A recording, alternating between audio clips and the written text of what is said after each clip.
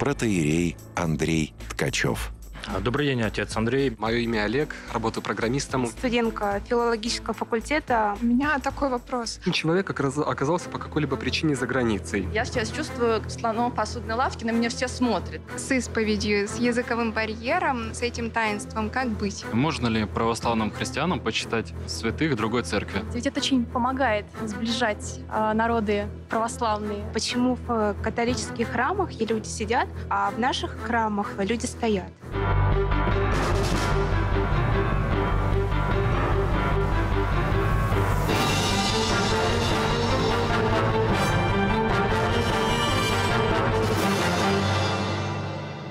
Братья и сестры, здравствуйте. Православие присутствует органически в целом ряде стран, где оно является плодом многолетнего труда духовного и сформировало целый ряд национальностей и народностей. Ну да, как, например, Сербия или Грузия. Православие после катаклизмов XX века в связи с этими взрывами социально-политическими разнеслось по всему миру и сегодня присутствует на всех континентах, даже в тех странах, где оно исторически не присутствовало до недавнего времени, например, в странах Латинской Америки э, или Африки. Вот мне бы хотелось поговорить сегодня о православии в его там, вселенском измерении. Э, вот эта кафоличность православия, его присутствие везде на сегодняшний момент, для того, чтобы как-то выйти за рамки э, привычного отношения к нему, как к русской вере. То есть православие за пределами русского мира, за пределами Российской Федерации – Э, православие во всем мире. Вот это как бы тема, которую мне хотелось бы, чтобы она заиграла разными красками в нашем сегодняшнем разговоре. Надеюсь, что будет нам полезно э, для будущей жизни и вообще, э, так сказать, для исповедничества и служения в современном мире. Друзья, здравствуйте.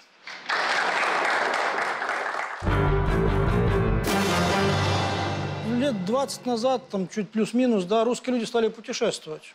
Стали, в общем-то, выездными. Раньше это было недоступно нам – и вот уже за это время миллионы русских людей побывали там, сначала что поближе, там, в Турции и Греции, потом побывали и в Америке Латинской и Северной, побывали и там, и там, и там, и там. То есть посмотрели мы уже, повидали. И некоторые ездят как к Лавру, к Сергию там, или как к Серафиму в Дивеево, так и летают на Корфу к Спиридону. И мы уже видели много, и можем многое сравнить. Вот меня их, конечно, всегда интересует, и всегда мне душа болит, чтобы православие было везде чтобы оно было яркое, красивое, сочное, чтобы оно закрашивало жизнь всеми красками радуги, чтобы оно веселило сердца и открытые двери православных храмов звали к себе всех людей, чернокожих, желтокожих, узкоглазых, лунолицых, там всех, какие есть на свете, как это бывает заметно на Пасху в Иерусалиме. Вот несколько раз мне случалось видеть пасхальные процессии в Святом городе, в Иерусалиме, и там все народы, вот как Исаия пишет, говорит, что текут к тебе, Сион.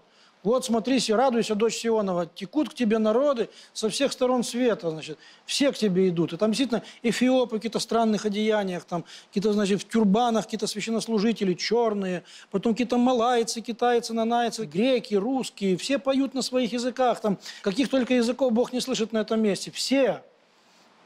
И это очень трогательно. Это очень радостно смотреть, как воскресший Христос собирает к себе сынов всех народов. В Откровении написано, что тысячи, тысячи тьмы тем служили Богу, и там были представители каждого народа, каждого племени, каждого языка.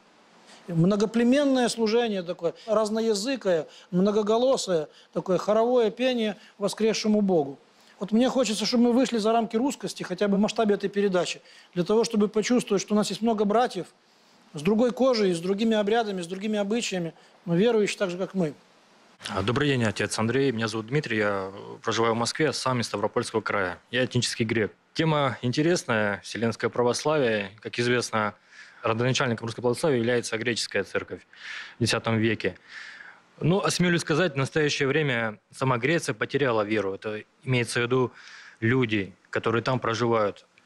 А, может быть, в священстве что-то осталось, но за пределами практически ничего не осталось. Вот что касается Ставропольского края, основная часть греков живет именно там. Mm-hmm. Они много переняли от турков. В настоящее время уже это потихоньку уходит. Вопрос такой, э, что вы видите в греческой церкви, в русской, какое отличие, что ожидает нас э, Европа, как, что будет с Грецией, например? Э, вы знаете, как-то раз я слышал праздничные застольные беседы. После литургии в один из праздников в высоком собрании где был э, святейший и иностранные гости. Трапеза после литургии – это продолжение литургии. Потому что на литургии проповедуют там один или два человека, а когда, а если на литургии, на праздничной было много людей, то кого именно высказаться как раз получается на трапезе. И тогда посреди братского этого разделения хлеба люди один за другим встают, тостуют и говорят какие-то важные вещи, которые они с собой в сердце принесли. А Святейший, когда служил службу, он две молитвы читал особые. За прекращение кровопролития на Донбассе и за мир, о мире на Святой Земле. Имеется в виду в Иерусалиме и прилежащих землях. И вот этот греческий митрополит сказал святейшему, говорит, ваше святейшество, когда вы будете в следующий раз служить литургии и молиться, еще о ком-то там, о, о Святой Земле, о Донбассе, пожалуйста, помолитесь еще о, Элладе, об Элладской церкви. Потому что сколько там лет пребывания в Евросоюзе у Греции, там, наша церковь потерпела гораздо больший урон, чем ваша церковь за 70 лет пребывания в коммунизме. То есть Евросоюз сумел разрушить нашу идентичность. Это эрозия духовных смыслов, вырастание безбожного поколения, забвение Бога массовое, гонка за деньгами, вечное, так сказать, недовольство жизнью, прекращение молитвенной жизни. Э, у нас больше, чем у вас за 70 лет активного насильственного атеизма этого. То есть у нас не рушат храмов, как у вас. Храмы не превращают в коровники, или там монастыри не превращают в лечебницы для умственно отсталых как это было у нас повсеместно, по всей Руси огромной. Но у нас вера падает, поэтому помолитесь за Элладу. А Эллада – это наша мать. То есть Византия дала нам веру. То есть в каком-то смысле мы дети Византии, только потом дети вырастают, мамы стареют, и потом на каком-то этапе уже мы как дети кормили нашу маму. После того, как турки захватили Константинополь, греки кормились от русской руки с 15 века по самое падение Российской империи. Так что отношение это самое братское – ну и самое сострадательное. Есть вещи, которых у нас нет. У них есть, а у нас нет. То есть у них, например, премьер-министр или президент, принимая присягу, говорит, «Святая Троица, Отец, Сын и Святой Дух дали мне святую власть, значит, там, приступить к своим обязанностям. И я, полагаю руку на Евангелие, совершая крестное знамение, призывая на помощь Иисуса Христа и Богородицу, торжественно обещаю, что я буду суд, там, там, судить, рядить, там, значит, выполнять свою работу так, как хочет от меня Святой Бог». Только, если бы наши такое говорили, я плакал бы от умиления возле телевизора. Клянусь вам, если бы наши президенты, вступая в должность, наши премьер-министры, наши всякие, как у ирландцев, например, там, мы, народ Эйре, прекрасно понимаем, что Святая Троица – источник всякой власти, красоты, блага и силы. Кланяясь Богу Святому в Троице Единому, мы, народ Эйре, говорим, там, это преамбула Конституции. Если бы у нас были такие законодательные акты, я бы их целовал и клал бы на престол в храме. У греков это есть до сих пор. У них закон Божий преподается в школах, у них священники являются как бы чиновниками, что церковь государственная. Священник, например, если не по форме одет, ему полицейский на улице может делать замечание. Полицейский, потому что священник считается, ну, как бы, представителем государства. Он получает зарплату от государства. Когда нас спрашивают, а вы получаете деньги от государства? Я говорю, что, смеетесь, что ли? Ничего не получаю. Говорит, как? Вот спрашивают иногда люди, наши, наши люди. Они думают, что церковь наша получает деньги от государства. Кто? Никто. А греки, да, получают зарплату каждый месяц. То есть церковь содержима государством. Но при этом э, современный каток этого новейшего мировоззрения, это новое миро, так сказать, мироощущение, дивный новый мир, оно вынимает из людей душу. Формально они все еще христиане, как бы, а душу из них можно вынуть. Э, потребительством, это у них в голове могут только распродажи, там деньги, котировки, курс валют, как бы башка забита цифрами, и глаза горят только на доллар. А сердце уже Христа не любит, как бы и все. Были такие времена, знаете, когда турки захватили Грецию, Византию, то там получилось так. Открыто отступили от Господа очень мало греков. Сознательно, открыто сказали, я в Христа не верю, я теперь буду мусульманин одели на себя там эту тюбетейку, значит, обрезались как бы и взяли мусульманское имя. Их было мало, там, скажем, один процент. Людей, которые пролили кровь за Христа, тоже не было очень много, тоже, скажем, там один процент. Я умру за Христа, и умерли за Христа. А вся остальная масса греков были так называемыми криптохристианами. Люди, которые формально принимали ислам, принимали мусульманские имена, вместо Иосифа стали Юсуфами, тайком продолжали крестить детей, праздновали Пасху и Рождество тайком, Но приходили в мечети, молились турками, все как бы по внешности, все принимали. То есть все архитекторы, которые строили вот эти вот все эти мечети, это все были греки. Все флотоводцы и полководцы были потурченные греки, и которые пошли на службу в турецкую администрацию, взяли турецкие имена, взяли турецких жен, стали соблюдать эти все там намазы, адаты, шариаты. И в, а в тайне сердца они якобы хранили там, значит, христианскую веру. Приходили в Святую Софию, как в мечеть, становились на колени, когда имам скажет, там, «А-ла-ла, бум, и там про себя шепотом в пол читали «Отче наши же, и на небесех», там, в Софии. Или там «Верую в единого Бога, Отца Вседержителя, Творца неба и земли». Где все. А, все, а по наружности совершали намаз вместе с имамом в мечети. Я, это, это жутко, но это так. То есть таких людей было там 90%.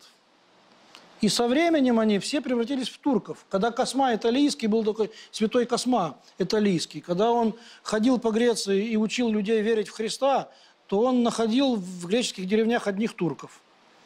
Они были бритые по-турецки на лысо, они ходили без крестиков, они не знали воскресного дня, молились по пятницам, э, джумма, там, так называемое. Это, значит, и он учил их, говорил, учите детей греческому языку, оденьте крестики, снимайте тюрбаны, отпустите волосы мужчины, пускайте бороды по православному. Он учил их элементарным вещам. Так что они прожили это, вернулись опять к вере своих отцов, к православию. Ну и я, конечно, надеюсь, что все у них будет хорошо, хотя современный враг э, в лице этого новейшего либерализма, этого антихристианского, он оказался не менее опасным, чем все враги предыдущие. Какие враги были у христианства? Агрессивный ислам, агрессивный национализм, агрессивный социализм. Сегодня это все уже отошло в сторону. Кроме агрессивного ислама, ИГИЛ до сих пор угрожает, ну, всем, не только христианству, всем. Он и мусульманам нормальным угрожает. Но сегодня есть новый вызов. Из людей вынимают душу. И они уже как заводной апельсин.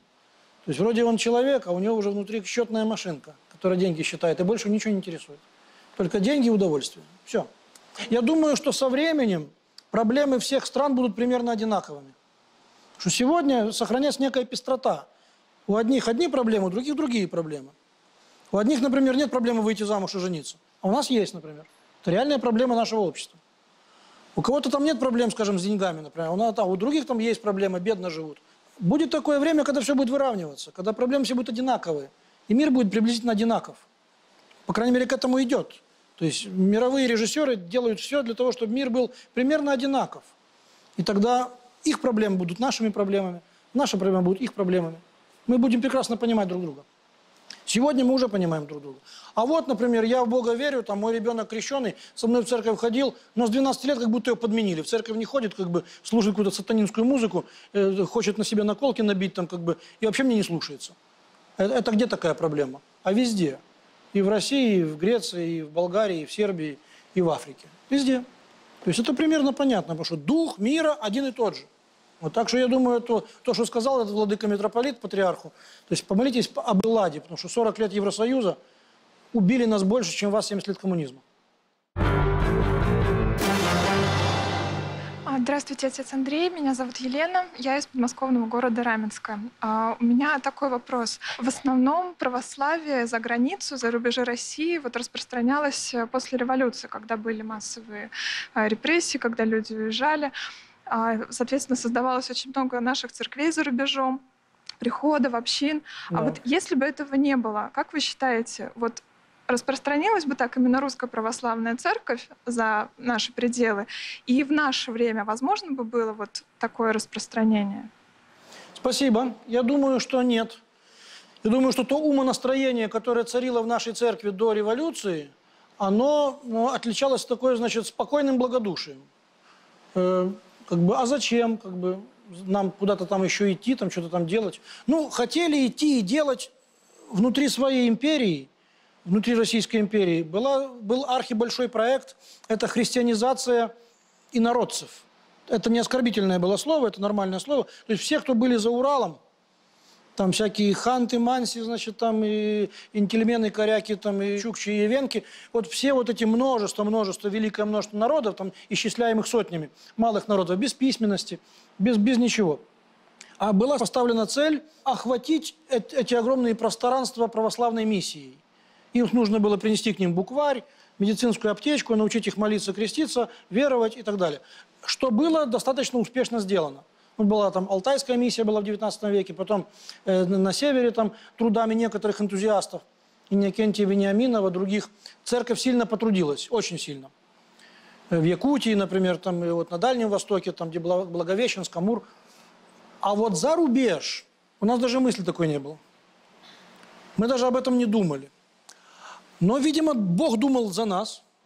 Божьи жернова, когда начали молоть эту всю эту ситуацию, и там еще у Божьей, видимо, еще метла есть Божья, она вымел за пределы Российской Федерации, ну, Российской империи огромное количество людей, ну, необычных. Попали туда и архиереи, и архимандриты, и игумены, монахи, религиозные философы, Шестов, там, или Ильин, там, Бердяев, там, Булгаков. Вот, они принесли с собой эту богословскую тревогу.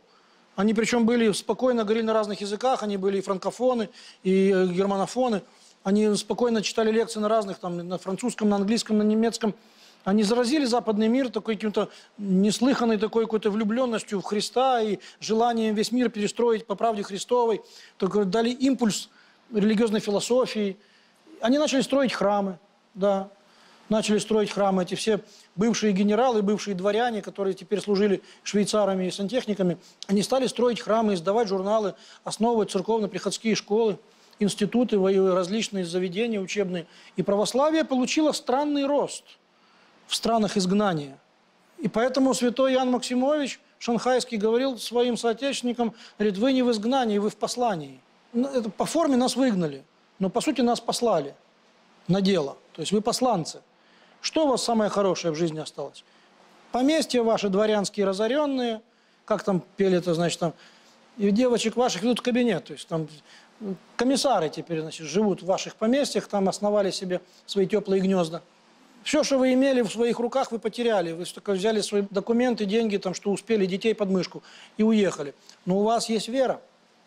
И вы теперь обязаны жить по вере, поскольку вы наказаны за то, что вы по вере не жили дома.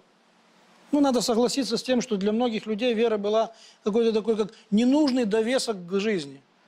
Они жили чем хочешь. Кто-то картами, кто-то политикой, кто-то конями и псовой охотой, кто-то любовными интригами, кто-то театром, кто-то наукой. А верой жил кто-то мало. И вот эту, всю эту массу всю выгребли за рубеж. Они вдруг очнулись стали жить верой. Они начали каяться. Ностальгия – это такая тетка вредная, что она из кого хочешь слезы выжмет. Кто из вас бывал за рубежом и ск- скучал по родине? Ну, так получалось, да? Допустим, что поехал на месяц, например, через неделю уже воешь волком, уже думаешь, когда бы вернуться уже быстрее. Потому что вот ни с того ни сего ностальгия, да, она есть у человека. А когда ты понимаешь, что никогда не вернешься на родину, никогда, и что ты жил на родине как свинья, и ты не любил ее, эту родину, потому что ты разговаривал по-французски на родине. А теперь, когда ты во Франции оказался, теперь ты по-русски разговариваешь. Вот теперь во Франции ты разговариваешь по-русски и читаешь Пушкина и плачешь.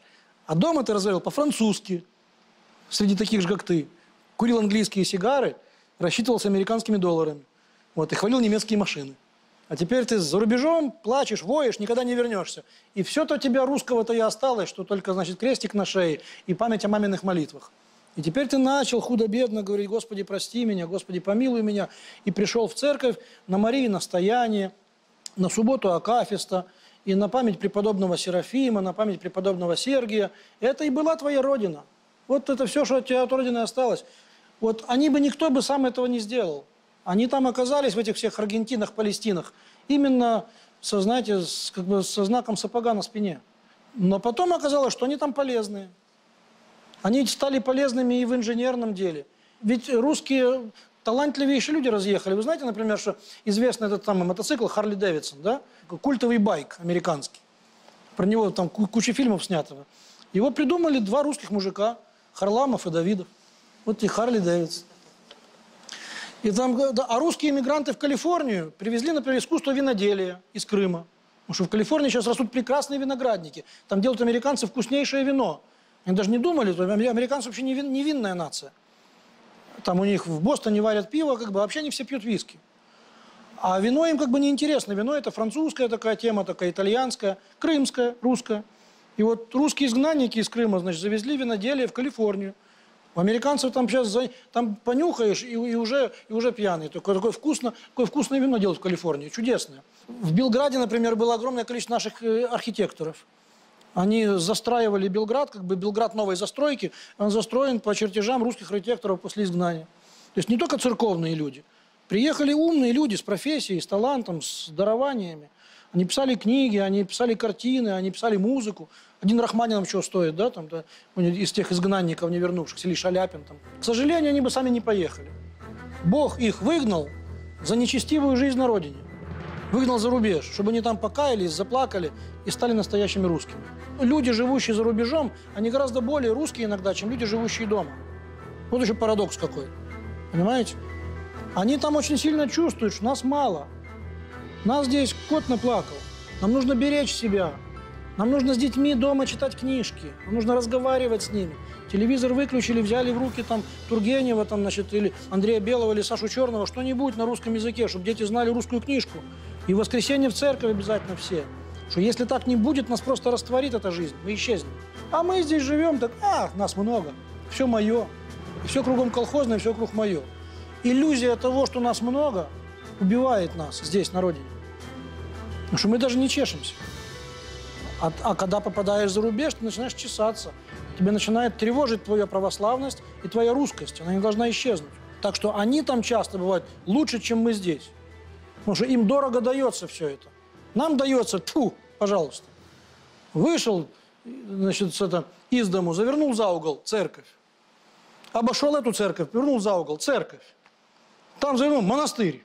Там церковная лавка. Там завернул еще церковь. У нас все слишком легко. А там надо встать.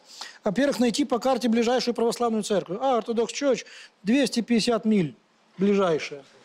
Да еще и не русская, еще, например, румынская или антиохийская. А где там Russian Orthodox Church? Ага, там 300 миль. Ну что ж, раз в неделю не поедешь. Там все деньги считают, там бензин дорогой, значит, тебе будет дорого выходить. Но раз в две недели, раз в месяц обязательно в 5 часов утра подъем и драйвуешь каром 300 миль значит, до русской церкви. И там уже не можешь после службы сразу домой пойти.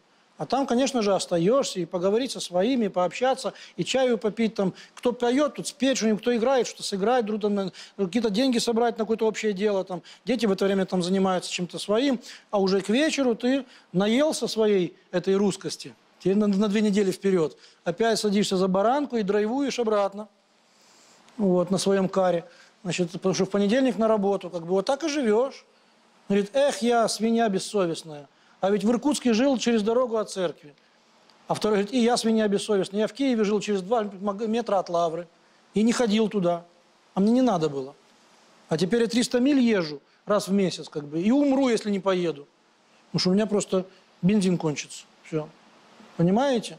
Так что это великая трагедия нашей жизни, но в этой трагедии есть э, такая оптимистическая трагедия. Там есть такой очень такой вкусный момент. Что раз ты не можешь жить по-человечески здесь, Пошел отсюда, живи со слезами там. Это нас тоже касается. Не можешь жить нормально, пока здоровый. Как, на тебе заболей, теперь будешь каяться и молиться. Здравствуйте, отец Андрей. Меня зовут Эдуард из Белгородской области. А как вы считаете, можно ли православным христианам почитать святых другой церкви, например, католической? Прекрасный вопрос. Во-первых, огромное количество святых, которых мы, так сказать, считаем, например, там, католическими – они на самом деле и не католические, не православные, они все церковные, все христианские. То есть они вот католические в смысле принадлежности к кафолической церкви. Как мы там говорим в символе веры. Вы верую в единую святую соборную апостольскую церковь. А католик говорит, верую в единую святую католическую церковь. То есть это, это игра слов. Вот, например, вы Эдуард. Я помню время, когда, например, люди приходили в церковь, писали записки о здравии Эдуарда, а наши бабушки святые на, на, на свечном ящике эти бумажки им кидали обратно. Говорит, нет такого, забирайте. Нет такого, нет никакой Цицилии, там какого-то Эдуарда, значит, какой-то там Мартирия, там нет никого. Есть только Иван, Петр, Вася, там Дуся, значит, и все. То, что я привыкла, то и есть, остального нету. Оказалось, есть Эдуард, король шотландский. Есть благочестивый, праведный, благоверный э, э, король э, Эдуард Шотландский отличался храбростью, милостью, как Людовик Святой во Франции, как другие святые короли э, Запада и Востока. Так что здесь нужно разобраться. Если до XI века, то там все наше общее. Есть такие, которые сильно почитаются на Западе, которых мы почитаем меньше, а они больше. Допустим, там святой Христофор, там святой Бонифаций. Много, там огромное количество святых, которых мы даже не знаем. Вот об этом говорил, кстати, Иоанн Максимович. Он говорил, что православные русские люди не знают тысячи святых ирландских, шотландских, гальских, то есть французских, э, итальянских, германских святых. Они их не знают, потому что как бы они мимо святцев наших прошли. А вот те, которые уже позже, позже, после XI века, а там есть такие люди, которые достойны удивления, внимания, уважения, возможно, даже и молитвы. Но я бы поостерегся. Есть такой черногорский город Котор. И там в этом городе Которе есть такая святая Асанна. Она вроде тех вот визионерок, таких э, католических монахинь, которым являлся Христос, и которые там такие вот именно визионеры такие видели, которые видели, что такое. Это была маленькая девушка, девочка из православной семьи, которой постоянно являлся Христос. Она об этом говорила своим родителям, но те, кто сомневались, от Бога ли это, они когда-то не знали, может, какое-то прельщение. Она пошла к католическим монахиням, те ее забрали к себе, она была у них в монастыре. Умерла очень молодой. Она маленькая, там мощи ее такие вот, она, как ребенок. Ну, и ей там были, продолжались эти видения. Католиками она канонизирована, православными нет. Там рядом с православные святыни, вот этот католический храм там с ее мощами.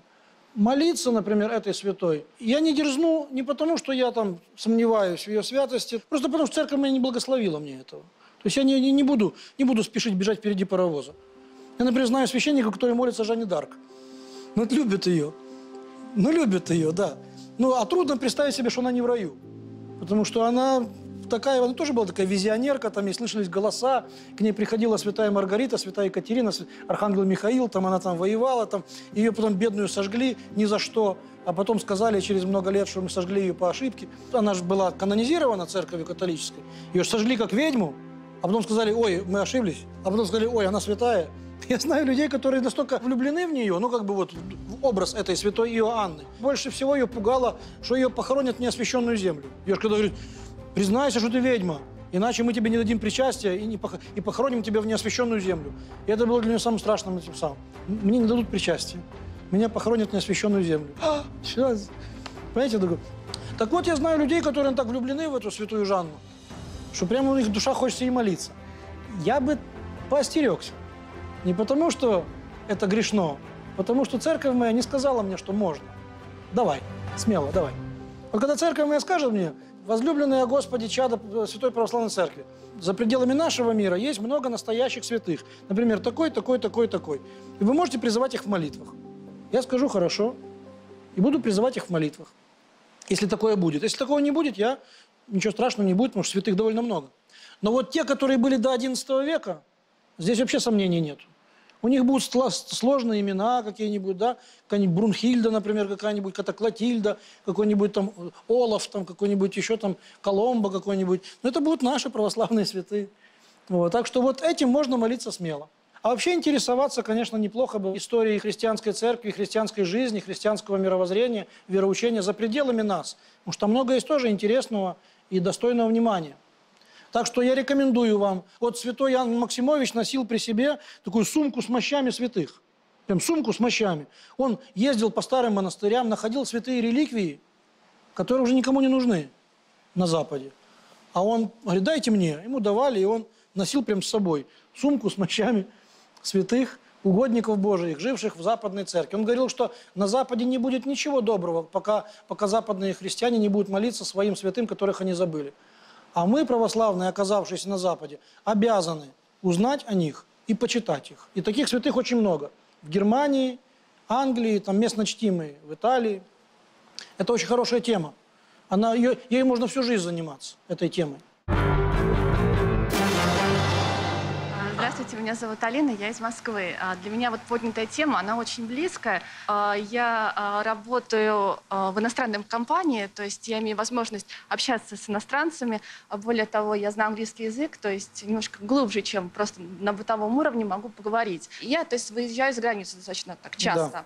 К примеру, я нахожусь в в Греции, а, выходной день, воскресенье, я иду в храм, иду в платке, соответственно, я там нахожусь в платке одна. И я сейчас чувствую, в слоновой посудной лавке на меня все смотрят. Мне неудобно без платка, просто мне некомфортно без платка быть э, на литургии воскресенья.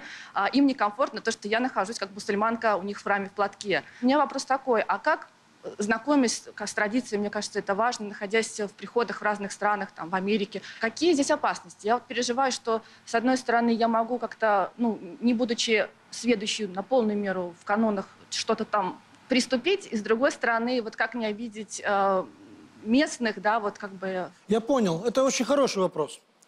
Я думаю, что платок одевать на службе надо, потому что здесь греки пошли вниз.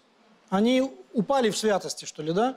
А если обычай местный поднимает нас в святости, то мы должны его с радостью соблюдать. Например, разуваться в храме хорошо бы. Вот это очень хорошая вещь, разуваться в храме.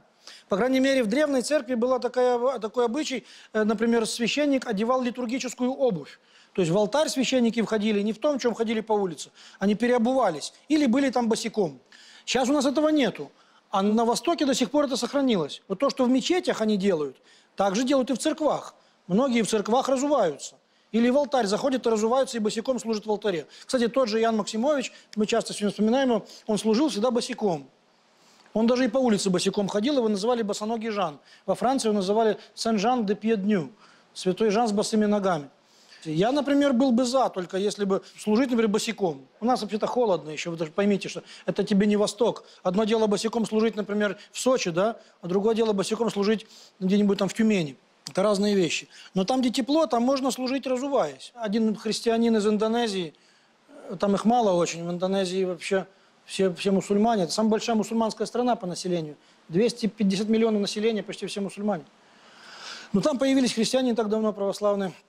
И он говорит, что мы разуваемся в наших церквях, потому что, потому что мусульманин, если придет к нам посмотреть, как мы молимся, он не поймет, если мы будем обутые.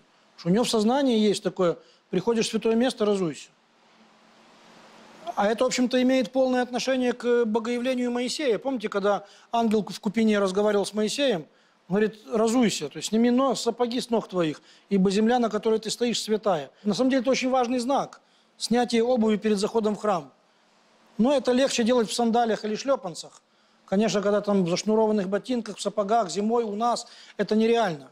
Это можно делать только летом в некоторых случаях. Но вообще тема очень интересная. Покрытие головы – это обязанность, конечно, наша. И то, что греческие женщины поснимали с себя головные уборы, это пришло к ним вслед за спесивостью и наглостью современных женщин. Не потому, что они такие там, что им жарко просто, а просто современные женщины, они больны феминизмом таким, там, им хочется, чтобы было комфортно, удобно, как я хочу. А я думала, это потому, что а, мусуль... среди мусульман они показывают, Нет. что они не мусульманки. Пусть берут пример с мусульманок в некоторых вещах. Я так считаю. Потому что, ну, конечно, если мусульманка, например, с головой покрыта, но все накрашена, есть такие тоже красавицы. В хиджабе, в мини-юбке, например, да? То есть они, такое можно встретить, как бы. Мини-юбка, каблуки и хиджаб, как бы. Ну, абсурд полный. Но тем не менее, потому что мир развращает всех. Но если ты видишь мусульманку, одетую прилично, как бы, и видишь нашу, какую почти раздетую на улицу, да, то, конечно, бери с нее пример, с мусульманки, потому что пример нужно брать со всех, у кого его можно взять, у кого можно что-то научиться. Ну и что, что они мусульмане? Если они целомудреннее, значит, будьте как они. Но к обрядам чужим нужно присматриваться. Знаете, интересно такое, расскажу такое. В Сербии на Рождество сжигают такие всякие хворост, деревья такие. Знаете, люди отслужили, отмолились, например, ночную службу рождественскую литургию, и выходят на площадь возле церквей, и тащат какие-то там деревья, всякие какие-то старые, сухостой всякие, и такой большой костер такой горит из всяких таких сухих дров. Каждый приносит свою какую-то корягу и сжигает. И там говорит, а что это символизирует? Это типа на наши грехи сгорает, это все сушь такая-то, то, что не плодоносит, то, что не цветет. Ну и там наши там были какие-то барышни-паломницы, говорит, а что каждый должен какую-то корягу сухую здесь же сжечь? Говорит, ну да. Говорит, а какого размера, какого? Говорит, вот чем больше грехов, тем больше коряга должна быть. Ну, они пошли, значит, минут через 20 тащат целое дерево вдвоем. Восприняли так покаянно, значит, так у нас нет такого-то костросжигания такого, интересно, такого у них-то. Или, допустим, в Румынии священник разоблачается, когда его окружают прихожане, и он бросает им детали своей одежды на руки. И Петрохиль, Филонь, Поручи, пояс. Там, и люди это все как бы так, ну, ловят, как бы, как святое. Вот. Или если видели в, в, в Греции, когда совершается вход на, на Херувимской, он совершается по всему храму. По всему храму. Видели когда-нибудь, да? Вот. Священник с чашей выходит из алтаря, идет вдоль стены, вот так вот до середины храма, возвращается обратно и совершает поминание там, великого господина там, и всех вас, христиан. И в это время, когда он идет вдоль храма, люди, находящиеся в храме, ловят его за ризу. Вот так как бы, вот так вот как бы за филонь. Вот так легонько и, и так как бы стремятся прикоснуться, к себе, потому что он с дарами идет, и они как бы за край ризы его касаются. Это очень трогательно наблюдать, как бы, вот как кровоточивая к Христу за край ризы. Такое, э, это, и он так совершает это поминовение. Такой вроде мелочь такая, а она как-то сразу закрашивает. Та же самая литургия, те же молитвы, та же вера, тоже все. А вот какая-то деталь такая обрядовая, и уже все по-другому. Ты уже ты думаешь, а что это? О, как интересно, слушай, так, вот у нас так нету, так, думаешь, а так, а так надо, не надо, может быть, нам тоже так надо. Но сразу такая начинает, игра ума такая начинается. Такая. Здравствуйте, отец Андрей. Меня зовут Анна. Донской храм, город Мытищи. У меня вопрос э, о причастии. Мы часто отдыхаем в Черногории, там сербс- сербская православная церковь, и мама водит моего брата. Ему меньше семи лет, поэтому там как бы проще. У меня вопрос с исповедью, с языковым барьером, ну и вообще с этим таинством. Как быть? Языковой барьер этот э, решается следующим образом.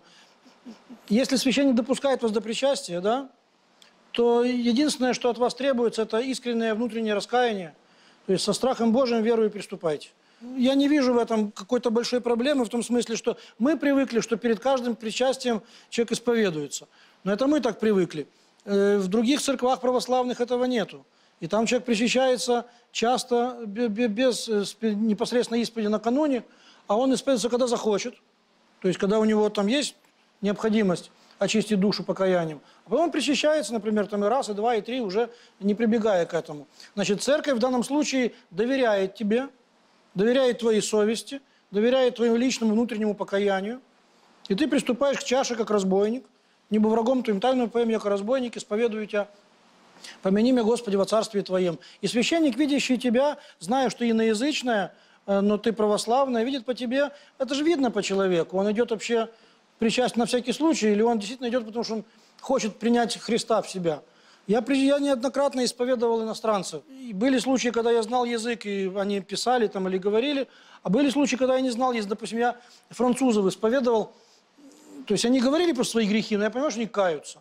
Я, не, я понимаю там только восьмое слово после семи. Вот. И я давал им разрешение или пускал их причастию так. Ну, что мне требовать от него, если я вижу по нему, что он Божий человек, и он кается в грехах своих? Что еще нужно? Обязательно нужно, чтобы я услышал эти грехи? Нет, наверное, Господь знает, иди. Так что здесь нет проблемы. Здесь вопрос понимания священником твоих речей, как бы он вторичен. А первичен вопрос твоего отношения к причастию. То есть я каюсь, я знаю, что я грешница, да? Я знаю, что здесь Иисус, в этой чаше Христос. А я грешник, прихожу к Нему как кровоточивая, как блудница, прихожу, принимаю Христа Спасителя. И это видно, если человек подходит с таким сердцем, ну сразу видно. Неоднократно священники с чашей стоя на амвоне смотрят, только идут люди к причастию. Один, два, три, четыре, пять, стоп. Какое-то чужое, сразу какое-то чужое лицо какое-то. Хоть он не знает никого лично, например, да? Сразу спрашиваю, а вы когда причащались в последний раз? Он говорит, никогда. А сегодня вы были на... Нет. А когда пришли в храм? Только что. А, ну, вы подождите, потом мы поговорим с вами. Ну, сразу видно чужого, как будто у него печать на лбу. Вот видно свои, свои, свои, свои.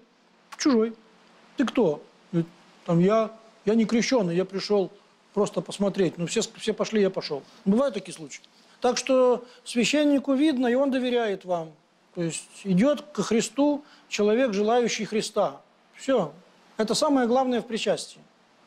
Главное не то, чтобы ты все сказал, там, чтобы я все услышал. Главное, чтобы ты знал, к кому ты идешь, и с покаянием, как, как со страхом Божьим и верой приступал к чаше жизни. Это самое главное.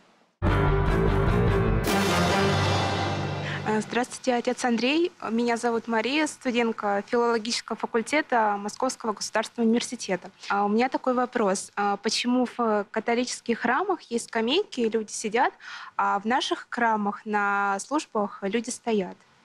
Хороший вопрос. Ну, То есть сидение или стояние как же не определяет православие, безусловно. Филарет Московский говорил, что лучше сидя думать о Боге, чем стоя о ногах. Может быть, этот вопрос изменится, потому что старики, старушки, например, они измучиваются от этого. А в православных церквях тоже могут быть лавки. То есть лавки, скамейки – это не прерогатива только лишь католических церквей. Э, Лавки, скамейки могут быть также и в православном храме. Или вдоль стены, как это бывает в монастырях, например, на том же Афоне. Вдоль стены стасидии. Службы такие длинные, что там никто их не выстоит. Бывает там в стасидии, там даже не сидишь, там просто на локти опираешься. Там такие перильцы, такие там на локтях висишь, а ноги отдыхают. Потом есть у нас кафизмы. Это от слова «сидеть». Когда псалтирь читают, нужно, в принципе, сидеть. Потом даже есть такие седалин, кафизма, седалин, там, седалин, значит, надо сесть. А вот акафист, надо встать. Акафист не, не седа. Поэтому, а мы на кафизмах стоим, а на кафизмах бы хорошо бы сидеть. Поэтому в храмах мы их сокращаем, чтобы людей не мучить. Поэтому вместо двух кафизм считают половину какую-то одной, там, или псалом за славу. Потому что если бы мы сидели, нам было бы легче это все. Да, это вопрос, действительно. Вот. Потом некоторые приносят с собой сами свои рыба, как рыболовы, знаете, такие рыболовские стульчики такие, бабульки, типа, на велик, великим постом, а ну-ка настойся на больных ногах. Это хорошо еще, пока тебе 25, а будет тебе 75, много настоишь. На палочку опираются люди там, или стульчики разворачивают, садятся, значит, такое. Раз они все равно садятся, или там лавки есть вдоль храма, но их мало, значит, может быть, кто-то поставит лавки, будем сидеть, но тогда нужно и службу длиннее служить. Возглас «премудрость прости» – это что означает? «Премудрость станьте прямо». Это возглас, обращенный к людям, которые до этого сидели. «Премудрость прости, услышим Святого Евангелия». Это значит, они сидели и слушали апостол. Потом сказали «встаньте, стойте прямо, услышим Святого Евангелия». Они встали и стоят. Послушали Евангелие, потом опять могут садиться или стоять дальше. То есть там у нас даже в службе есть возгласы, которые предполагают, что нужно сидеть, то нужно встать. Есть возгласы, которые предполагают, что нужно закрыть дверь и никого не выпускать. Двери, двери, премудростью вон. Значит, декана должны подойти, закрыть дверь на замок, чтобы никто больше не входил и не выходил. Кто опоздал, тут не зайдет, кто зашел, тут не выйдет. Все. Я думаю, что это придет к нам. Тогда служба должна быть, быть полной. На службе положено читать много поучений. Если у нас все чтения в церковь ввести, из синоксарии, из житий святых, из пролога, плюс проповеди, то нам придется садиться в храме, потому что мы не выстоим этого всего. Так что здесь это все такое живое, знаете, оно, оно все дышит. Вопрос не в том, что ставьте лавки, садитесь, как бы сидите. Значит, теперь. Нет, все не так. Сегодня, например, мы не садимся. Сегодня служба короткая, часик будет всего лишь. Сегодня никто не садится. Завтра будет длинная всеночная, там 4 часа. Будем садиться. Но опять-таки там, где мы скажем, там и сядете. То есть там диакон выходит, там садимся. Потом там премудрость, там все должны все знать, когда вставать. На каких возгласах там.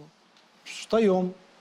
Там, и так далее. То есть это требует такой работы с паствой, чтобы народ знал, что, чтобы не так было. Один сел, другой лег, вообще третий вообще там это сада. Это будет безобразие. Все, что нужно в церкви ввести, предполагает повышение дисциплины. Нужно, чтобы священник постоянно учил людей, рассказывал, что, как вести себя и все. Чтобы любой чужой, который зашел, который не знает этого, чтобы он посмотрел на других, делал так, как они. Так что при таком дисциплинарном подходе нам можно и лавки поставить. Но нужно тогда будет больше служить, больше читать, больше проповедовать, больше поучений всяких таких, чтобы в церкви было, во время которых предполагается сидение слушающих. Здравствуйте, батюшка. Меня зовут Светлана. Я из Москвы, работаю в сфере телекоммуникаций. Я была очень приятно удивлена, когда увидела в храмах Черногории очень много икон нашей царской семьи и также иконы Матронушки. Как вы считаете, ведь это очень помогает сближать а, народы православные России, Черногории. Я думаю, что Да, но Черногорская церковь – это сербская церковь. То есть там есть свой раскол. Там есть э, черногорцы, которые говорят, мы не сербы, мы черногорцы. А есть те, которые говорят, мы сербы, и церковь наша сербская. И вот те, которые сербы, и церковь их сербская, они чтут э, государя-императора. Э, Там было, как вы знаете, первое явление нерукотворного образа. Там при росписи храма одного, ну, кажется, на Жиче. И Николай Велимирович, епископ Жичский Ахридский, был первым инициатором канонизации Николая. Кстати, он же был инициатором канонизации Яна Кронштадтского. То есть Яна Кронштадтского канонизировали по инициативе сербского святого владыки. Они любят государя-императора, потому что помнят Первую мировую войну, когда Россия, собственно, ввязалась в ненужную ей войну э, из-за братского сербского народа, по сути. Нам не нужна была Первая мировая. Да, даже можно было бы говорить, что это некая геополитическая, стратегическая ошибка, потому что она обескровила народ и подготовила революцию, Первая мировая. Однако мы вступились за сербов, и сербы это помнят и благодарны за это нам. И они очень почитают императора. Есть, в Белграде есть улица царя Николая, кстати, я видел собственными глазами. А со всеми теми христианскими народами, которые есть, с ними можно подружиться через святых. Стоит тебе знать какого-то любимого святого в этом народе. Все. Это мостик дружбы к сердцу человека. Если, конечно, у него в сердце есть что-то святое. С любым христианином э, можно подружиться на, на, на теме тех святых, которых он любит. Мое имя Олег, работаю программистом. У меня вопрос такой. А, Допустим, человек оказался по какой-либо причине за границей. Вот в этой области, в этом районе, где он проживает, там нету православных церквей. Но есть христианские церкви других конфессий. А, Вот интересует ваше мнение, как быть такому человеку, как правильно поступить, чтобы это было по воле Божьей. Бывают такие ситуации, когда нету рядом православных церквей. Иногда нужно воскресный день промолиться по четкам. Ну, то есть, имея Евангелие, там, скажем, или псалтирьку, там, в положенное время, а- а- отчитать обедницу там, или помолиться как можешь в воскресный день. По моему личному опыту, я, э, бывая за границей, всегда захожу в христианские храмы. В католические, лютеранские. Причащаться там нельзя. Нельзя. Так, так пока, пока так наша жизнь сложилась, уже давно это, это разделение существует. У нас нет евхаристического общения с католиками. Раз церковь нам так сказала, значит, так пусть будет. Как будет дальше, будем видеть. Поэтому причастие, интеркоммунион так называемый, причастие наше у них, их у нас нету. Но прийти в храм Божий помолиться, побыть на службе у них, я не вижу в этом ничего плохого. У меня был опыт такой очень трогательный для меня. Католическое место в церкви Сан-Евсташ в Париже. Современный город грехами кипящий. Там такой злачный квартал такой. И огромный храм святого Евстафия. В этом огромном храме место, там было на месте, человек в три раза меньше людей, чем нас здесь сегодня. Один какой-то мальчик-китаец, один старичок француз, одна бабушка, одна студентка, там какой был срез такой, общество такое. И священником был араб. И они служили мессу, и постоянно хлопали двери, заходили, выходили туристы. Священник постоянно вздрагивал от этого хлопка дверей. А туристы заходили, там немцы, французы, всякие итальянцы. Русских, кстати, не было. Разговаривали по мобильному телефону, не снижая голоса. Не снимали шапок, жевали жвачки, ходили там мимо этого алтаря туда-сюда. У меня было ужасное чувство, что нахожусь в каком-то гетто, какое-то место перед концом света. Мне было так жалко этих, этих французов. За стенами этого древнего храма кипит грехом город. Внутри этого древнего храма собрана котом наплаканная капелька людей, которые постоянно вздрагивают от того, что в этот храм заходят какие-то чужие люди, которым храм не нужен, и молитва тоже не нужна. Они громко разговаривают, орут, кричат, такое все, как дикари какие-то такие. Если бы они побили бы этого священника, разогнали бы всех, никто бы их не защитил. Кругом рядом нет ни полиции, никого. И это была такая яркая картинка апокалипсиса такого, что вот это умирающее христианство э, в городе греха. Как бы такое, да?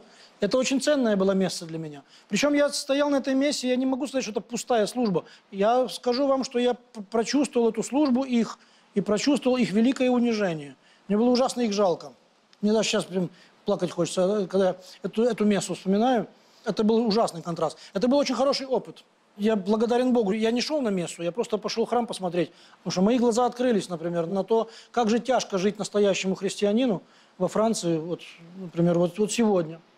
По случаю я взял в руки недавно книгу Франсуа Мариака. Это известный Нобелевский лауреат по литературе. И у него книжка, он был всю жизнь таким ревностным католиком. Под старость написал книжку «Во что я верю?»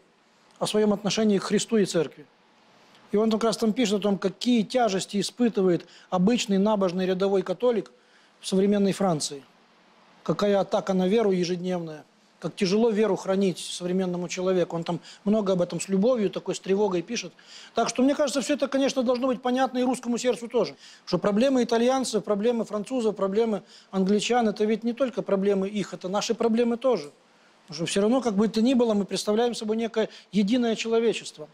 Так что, если вам придется быть где-то далеко от родины, и православной церкви рядом не будет в воскресенье, вы можете пойти там, где есть христианская служба. Не причащаться, но посмотреть, подумать. Ваше сердце что-то почувствует новое, что-то поймете. Как-то, вы как-то полюбите этих людей, у вас как-то откроется душа к тому, чтобы понимать всякого человека. Я думаю, так должно быть. Ну что ж, э, тема, конечно, широкая, как море, и такая же, собственно, глубокая. Православие сегодня есть везде, в разном качестве, оно все-таки присутствует на всех континентах. Но и надо, чтобы оно было сильным, красивым.